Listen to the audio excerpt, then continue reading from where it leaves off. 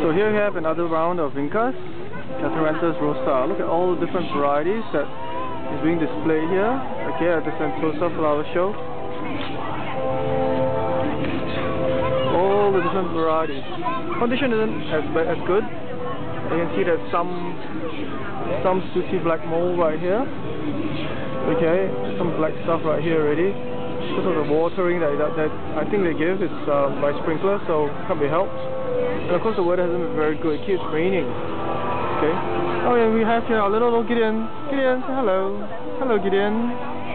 Okay, so as you walk around, you can see lots and lots of different varieties. And of course you can see my favorite is the big red here.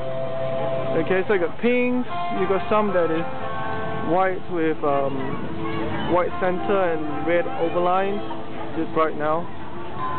So yes, more to come in a while. Thanks for watching Close